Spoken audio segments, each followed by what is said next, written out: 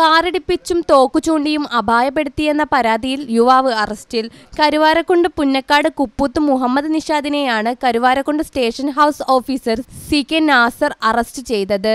പുന്നക്കാട് വട്ടമണ്ണിൽ നിസാമാണ് പരാതി നൽകിയത്. നിസാമും സുഹൃത്ത് അബ്ദുൾ റസാക്കും ചൊവ്വാഴ്ച ഉച്ചയ്ക്ക് പുന്നക്കാട് നിൽക്കുന്നതിനിടെ പ്രതി ഇരുവർക്കും നേരെ കാറിടിപ്പിച്ചു കയറ്റി അപായപ്പെടുത്തുകയായിരുന്നു. നിസാമിന് നേരെ തോക്കു ചൂണ്ടി കൊല്ലുമെന്ന് ഭീഷണിപ്പെടുത്തുകയും ചെയ്തു. News bureau Malappuram. ഞങ്ങളെപ്പറ്റി നിങ്ങൾക്കല്ലേ കൂടുതൽ അറിയുന്നത്? പരിശുദ്ധിയുടെ സുവർണ പാരമ്പര്യം ഹയാത് ഗോൾഡൻ ഡയമണ്ട്സ് വളാഞ്ചേരി.